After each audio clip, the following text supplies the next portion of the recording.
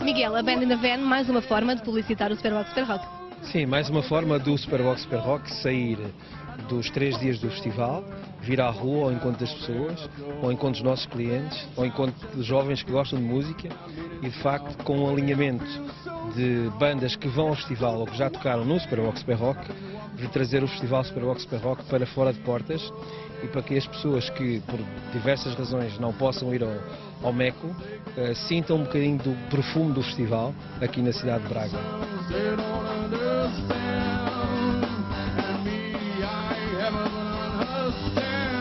Filipe, cabe-te a ti a honra de levar o Superbox Super Rock a todo Portugal. Estás contente com isso? Estou muito feliz, eh, acho que a oportunidade que, que me deram de, de representar a, a promoção do Superbox Super Rock, uh, Band in a Van, foi, foi sem dúvida muito importante para mim, porque foi um regresso. Eu vim, acabei de vir de Londres ainda há pouco tempo e acho que comecei muito bem com este tipo de, de abordagem.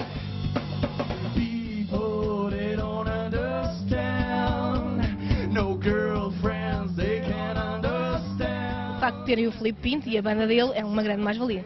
De facto, o Filipe é um excelente performer, com uma voz incrível, que venceu o concurso dos ídolos. É um amante do rock. eh, esteve em Inglaterra, de facto, a aperfeiçoar aquilo que já eram as suas eh, enormes qualidades.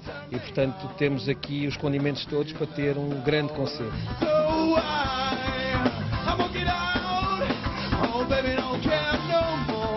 Muitas das bandas que vão ao, ao festival Superbox Super Rock são bandas muito do meu agrado.